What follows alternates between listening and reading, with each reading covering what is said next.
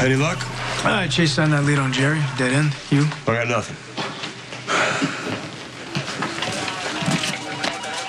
Todd Manning got something to do with this? Yeah, don't you know it's the Todd and Jerry show? We find one knucklehead, you're gonna find the other together today, and Manning was trying to convince him to buy the counter agent from Jerry.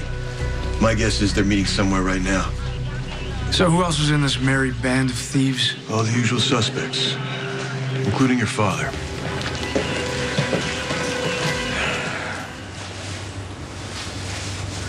Dante, how you feeling? Oh, you know, hanging in there. I hope you're home with uh, Lulu. Because you know, everything else is unimportant. Like, like you, Sonny? Are you home with Kate right now?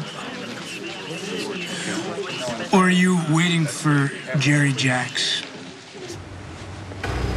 If you think I'm gonna let him hand over the cure and disappear with the cash, that fever is making you delusional.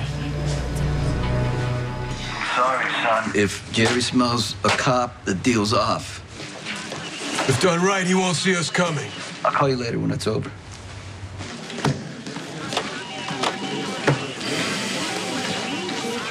You get a location? Mr. Corinthos hung up before I could pinpoint his location. Uh, because he knew we were tracing him. Well, I was able to find the cell tower that handled the call. Show me. What's the radius of that tower? Five miles. Five miles. Okay, so we are looking for a place where Jerry can pick up his money and make a getaway, and it's in a five-mile radius. The team's checking the entire area. That's over 75 square miles. Yes. They could be anywhere. Yeah. Maybe I can help.